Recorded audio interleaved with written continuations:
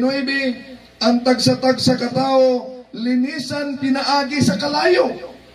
Ang purgatorio kalayo. Murag impyerno.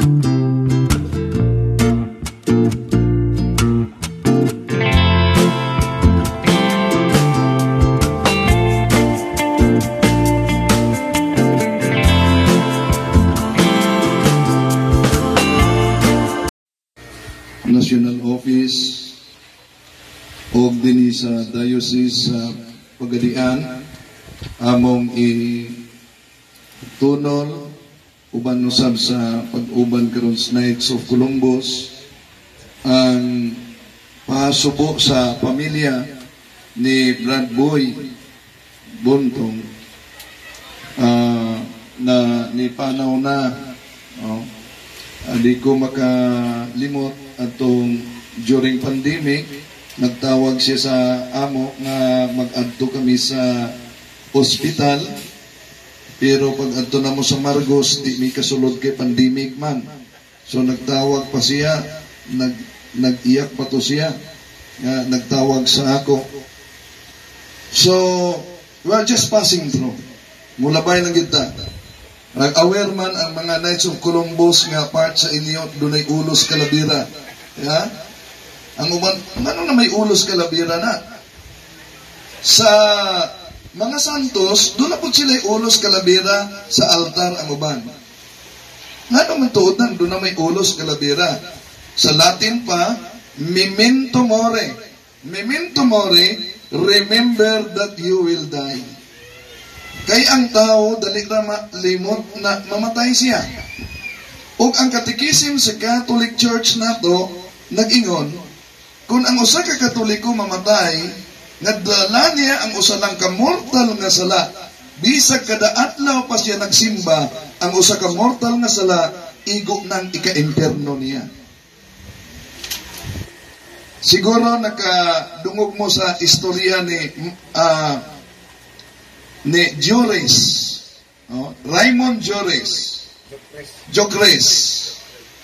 Si Raymond Jocres, grabe ka devoted sa simbahan katoliko. Sa France na naa siya, Raymond Jocres. Devoted, daghan kaayo siyang mga kabos na tabangan. Daghan kaayo siya napaeskwela nga mga pobre, mga pobre nga napakaon. Nagtabang siya sa simbahan.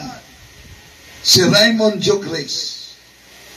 Mao nga sa kadaghan niyang natabangan, namatay si Raymond Jocres o ang iyang lungon kay wa may cover. Daghang mga pari o mga natabangan mi tambong sa misa. Og samtang nagmisa, nagkanta na, may mga obispo pa, kay dako kay siya katabang simbahan. Ang di makalimtan sa tanang tao o sa mga pari, nga ang patay nga si Raymond Jocres, migalit og lingkod sa iyang lungon. O misulti, ang Diyos naghukom nako karong adlawa, ug ako na pamatud-ag sandan, ug nia ako sa impyerno karon, ug nibalik og higda. So dili garantiya nga bisan pag maayo ang atong nabuhat, makalangit na to. Kay ang atong good works can be meritorious only in the eyes of God if we are in the state of grace. Wala tay mortal na sala. Sa ato pa, bisan pag naghingilin patagyawa, nagsangyaw pata, nag-ayog mga masakiton, Ingon na nga itong ginoo sa Mateo Kapitulo 7, versikulo 22-23, Pahawa kamo mga makasasala, wala ako makaila kaninyo. So dili garantiya nga nagsangyaw ta, nag-ayog masakito, naghingilig yawa, kana mo'y gitawag og gift from the Holy Spirit. But ang gift from the Holy Spirit, dili siya garantiya na makalangit nato. Kay ang gift of the Holy Spirit, pwede siyang mapiki. Ang garantiya nga muhatod dato sa langit, mao ang fruit of the Holy Spirit. Usa man ang fruit, joy, peace, faithfulness, gentleness, kindness, gen, uh, kininiang, uh, self-control, and uh, endurance of suffering. Kana mao ang mga fruits of the Holy Spirit nga dapat naa sa kinabuhi nato. Well, uh, dunay usa ka principal nga babayi sa sa buhol kining nga halos kada adlaw siyang nagsimba. Ilado na siya kayo sa mga pare kay halos kada adlaw man siya nagsimba. Nya mayo kayo ni siya religyoso. Karon gipatay siya sa iyang estudyante sa eskwelahan. So sa diyang namatay na siya, ang iyang lawas gibutang diya sa lungon, ang Paris Press nila mo'y nagmisa. Sa unang gabi nga napahiluna siya, nagmisa ang Paris Press.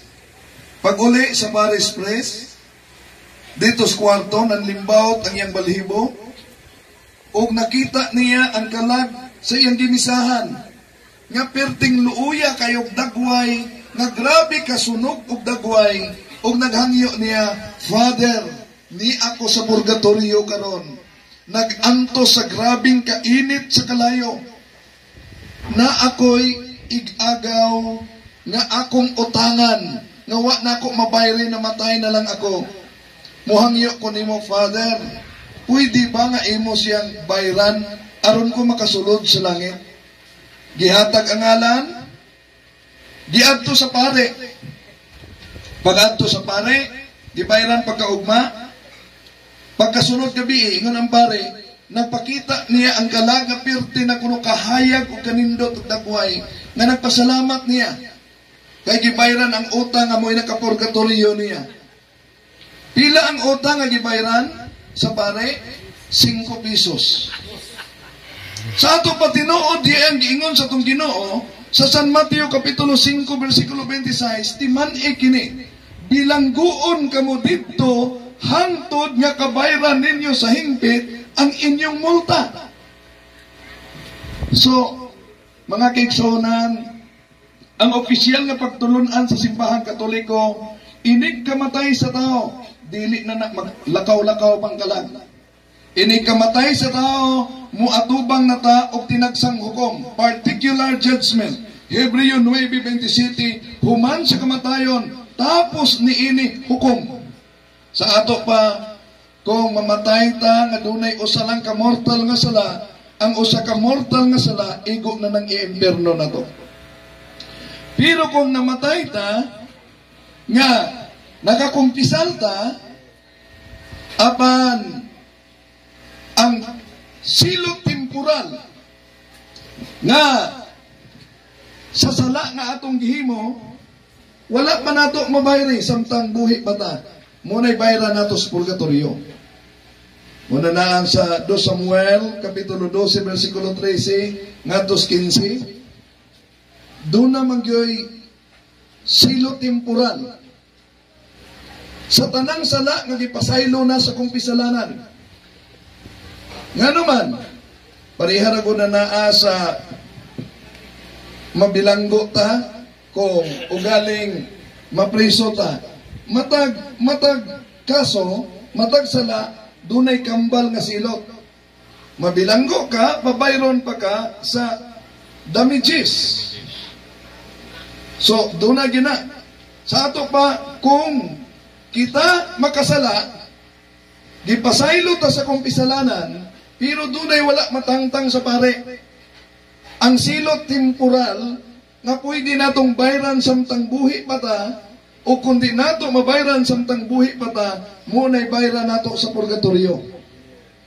Mo na ang gingon sa uh, Lucas kapitulo 9:49 ang tagsa-tagsa katao linisan pinaagi sa kalayo. Ang purgatorio kalayo. Murag impierno. Mao nga giawag kita sa simbahan nga wala gid unta usa nato mangandoy nga mapurgatorio. Dapat dinhi pa lamang sa kalibutan mangandoy gyud tang malangit. Kay kung langit ang atong target, masipyat ganit nagkabot sa langit, at least na purgatorio. Kay kung purgatorio ang atong target, masipyat ganit sa purgatorio, delikado gyud ang maimbierno. So, ingon ang mga mistake, kay lain naman ang atong oras karon. Sa atong panahon, we are bound by time and space. Samtang buhi ba? Naatay kalendaryo, naatay adlaw. Pero ang laing kinabuhi, they are not bound by time and space. O sa ibot pasabot, nga wala na'y oras ato. Matod pa sa mga mistakes nga gipakitaan sa Ginoo sa mga kalag sa purgatorio, ang usa ka minuto sa purgatorio equivalent sa 100 years sa kalibutan. Ang isa ka minuto sa purgatorio equivalent sa 100 years sa kalibutan. Muna na ang agiawag yutang mga katoliko nga kadtong mga nangamatay nato ato gyud ang iampo. Ato gyud ug ang dana nanatay gikalimtan nga practice Catholic unsa man ang Gregorian Masses unsa man Gregorian Masses 30 ka adlaw sunod-sunod nga pamisa para sa kalag wala na kayo naghimo ana 30 ka adlaw sunod-sunod ka pamisa. Unsa pa gyud ang gikalimtan sa kadaghana mga Katoliko. Alas 8 sa gabi mubagting na ang mga simbahan. Nga naman, kay kanang orasa mo ang pag-ampo alang sa mga nangamatay sa mga ninuno nato. Unsa pagyud ang gikalimtan sa mga Katoliko kadaganan. Gitudluan ta sa simbahan, part na niya, nga before ta mo kaon, mag-prayer ta. Humana to kaon, mag-prayer ta. We give you thanks, O Lord, for these gifts which we receive from your goodness through Christ our Lord. Dunay sumpay, ana. May the soul of all faithful departed through the mercy of Christ rest in peace. Nga naman, kinaaman tayo communion with saints. Nga naman, isalot man na nato humagkaon. Kay ang tao, dili malimot mo kaon. O kay di man ka malimot mo kaon, ayaw kalimti ang mga nag-una nga nangamatay na kay kabahin sila sa atong kinabuhi nga mikaon ta. Mo na communion na to. Communion with saints. So imagine, mo din na atong pagtuo pero dagang kayong nalimot ana. Ang ato pag yung pagtuo hinoon, nasa gulag tuo-tuo. O sa manang tuo-tuo. Abi niya superstitious beliefs. Abi nila, ang uban magtuo, wala may mawala ani kung mutuo ta. Pero kung tanaw na ang opisyal nga pagtulunan simbahan katoliko, Catechism of the Catholic Church numero 2238, superstition is a total departure of the worship that we give to the true God. Sa ato pa, tuo-tuo lang, may na ta sa Diyos. O sa man na superstitious beliefs. Daghan nga na ang atong superstitious beliefs from womb to tomb. O sa na ang gikaslungan kung dunay mamatay. Dili pwedeng mobigil sa laing patay. Kay magkatay-katay ang patay. Ay mugtuo ana superstitious beliefs na naa. No? Dili pwede nga kung dunay mamatay, mananghid ka nga mo adto nami, dili kuno na maayo, nahulog na ko'y batasan. Dili pwede ang uban nga superstitious beliefs, kung dunay mamatay, nga imong hintungdan, di ka pwedeng maligo. Tinuod na na akong bilar ka. Pero nahimong superstitious beliefs na na, di maligo kung dunay namatay, ang resulta, mas baho pa ang buhi kaysa patay. So dagantang superstitious beliefs nga dapat likaya nato. Unsa pa kinang superstitious beliefs? Inigawas sa lungon, tuan naglinya musuong, walay lingi-lingi. That's occultism. And occultism is satanism.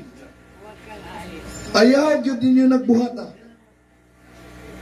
O inigabot na dito sa menteryo, inigawas na uban naglinya magpan-aso-aso. Mag-aso-aso aron dili mo pilit ang kalag niya. Sa pagtuon niyo sa kalag, lamok, madalalag aso. Ang problema pag yun, sa uban, kay kung isulod na ang lungon, ang uban magbugtog rosaryuhan. Ayaw gyud taon niyo naghimuan. Ayaw sa guli ninyo ang atong pagtuo og mga tuo-tuo. Kay nakabantay mo mo, sobra na sa 500 years of Christianity. Pero ang mga Katoliko kadaghanan, nag-anto sa grabing kalisod, nag-anto sa grabing lain-laing sakit o kalisdanan. Nganong wa man nato matinawi ang grasya sa Dios? Nga mga Kristiyano man ta, nganong kadaghanan nato nag-antos o nagilaid man sa sakit? Ngano man? Sulayira gud niyo kaon og dulce, dayon ayaw ninyo paniti, kan alakip ang putos, mulami ba? Di yun nato matilawan ang dulce kung ikaon nato lakip ang putos. Unsay punto ana? Kung gusto ta nga matilawan nato ang grasya sa Dios, hubua sa ang mga putos sa tuo-tuo nga dili atong pagtuo. Masa man di atong pagtuo? Credo, I believe in God the Father Almighty, Creator of heaven and earth. Mao na na ang uh, sa tanan, ayaw din yung kalimti ang pag-ampo alang sa mga nangamatay ng naguna nato. Bisan ang mga santo, pag mamatay mo ingon, ayaw ninyo kaming ikanonize kung una. Kaya dagang mo ingon nga, magpasalamat ta, nga may panaw na siya, wala na gyud siya kasakit ba? Tuwa na gyud siya sa langit. Giyon sa nato pagkaibalo, nga tuwa na siya sa langit.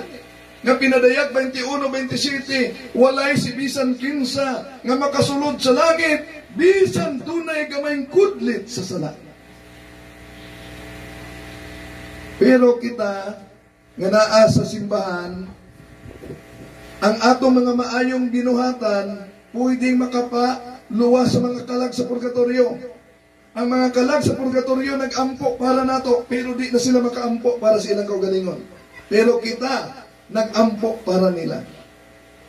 Mga mga binating kaigsunan, ang kamatayon ni Brad Boy, nagpainomdom na to tanan. We're just passing through. Mulabay lang ta. Mao nga kung dili ta andam karon unsaon nato pagkaandam ugma. Bona na ang alang sa mga Katoliko nga dugay na kay way kumpisal-kumpisan. Evaluate your conscience. Kumpisan. Receive the sacrament of reconciliation. Nga naman, kay mahimo lang epektibo ang atong mga prayer para sa mga kalag sa purgatorio if we are in the state of grace. Kung naata sa mga sala nga bugat, Isaiah 59, versikulo 2, dili ko kamo makita, dili ko kamo madungog, tungod sa inyong mga sala, ang inyong mga sala mo ay nagpalayo kanako. Amen. Busa mga binating kaigsunan, real ang purgatorio, real ang langit, real ang imperno. Pero asa man ang dapita? Dili pa na nato makita isang tangbuhi pa. Kay ang atong kinabuhi nga naas kalibutan sama sa usa ka bata nga naa sulod sa tiyan. Sa diha patasulod sa tiyan, kabalo di nga dunay kalibutan. Para nato samtang naa ta sa sulod sa tiyan, kontento na ta. Nga naa sulod sa tiyan, guot-guot nga pinuy-anan. Pero wa ta kabalo nga kinahanglan mo gawas gyud ita sulod sa siyam kabulan ug diha siyam kabulan dinha pa nato masinati naa man day luag pang puluyanan itandi sa tiyan ug kini ang kalibutan Sa samang paagi, dunay langit. Dunay imperno. Ug matod pa sa mga santo nga makakita og mga kalag sa purgatorio o sa imperno, ang pinakakuyaw nga maimperno ang mga katoliko. Kay siya mooy kabalo sa tinuod o tuwa siya ibutang sa pinakailalom nga bahin sa kalayo. Mao nga maningkamot gyud ta mga kigsuonan nga di ta muagi sa kapintas sa impyerno. Ang simbahan nato nagtanyag kanunay sa mga paagi nga makapaluwas ka nato. Ang pag-ampo alang sa mga kalag, naghatag kini og plenary indulgence nga magputol sa silo temporal nga antusan nato sa purgatorio. But plenary indulgence can be obtained under the usual conditions. O sa may kondisyon, anak. Una, atong iampo sa buntag, Lord, I wish to obtain plenary indulgences attached to my good works and prayers today. Ikaduha, nga mangumpisal ta o mudawat ta sa sakramento. Ikatulo, nga iampo nato ang intention sa Santo Papa. So kung ma- magkapuot nato ang plenary indulgence, pwede tang magluwas pagkalag sa purgatorio. No? So ana di ay. Mao nga mga binating kigsuunan kung mapansin ninyo, matikdan ninyo, ang pagpakumpisal, walay bayad. Ang kaluwasan, free, libre, walay bayad. Ang misa, pagtambong sa misa, free, walay bayad. Pero kabantay ba mo? Kabantay mo? Mapalitag sigarilyo, dunay bayad. Mo, mo balitag ilimnong makahubog, dunay bayad. Manugal ta, na kwarta gyapon. Mambabayi, dunay bayad. Ya? Wa mo ka matikod niya na. Nga naman, nga daghan man kayo sa mga Kristiyano sa atong panahon karon mubayad makaadtog impirno samtang free libre ang kaluwasan para sa langit mao nga atong iampo kanunay si Bro Boy alang sa kapahulayang dayon nga magpasaylo sa mga temporal punishment sa sala nga napasaylo na sa kumpisalanan.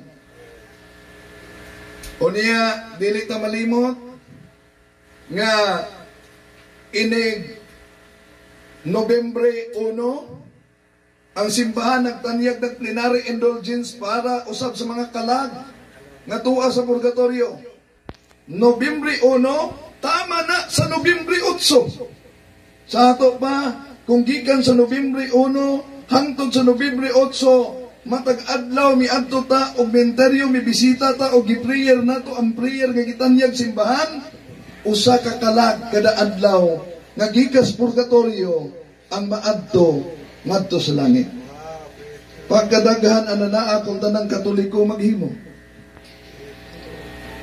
Mao nga mga binati nato mga kaigsuonan nagpahinumdum ang kini alang kanato ang kamatayon ni Brad Boy nga we are just passing through in this life mulabay lang yun tan ining kinabuhia. Mao nga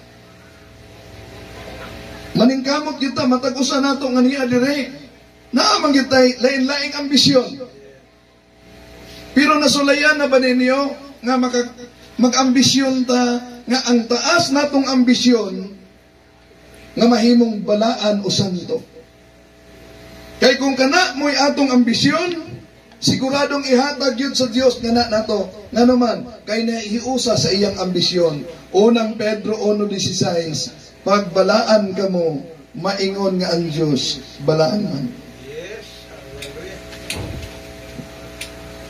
Bosa, Ipahinumdum nato nga ang kamatayon dili nimo katapusan. Pero ang pinakadimala sa tanang dimala sa kinabuhi sa tao pagmamatay ta nga dunay mortal nga sala. Kaya mo sa kamortal nga sala, igo naman siyang ika-imperno na to. Mao nga maningkamot kita nga makakumpisal aron ang atong mga pag-ampo para usab sa mga nangamatay nga nasa purgatorio dunggon ug makatabang para makasulod sila ngadto sa gingharian sa Dios.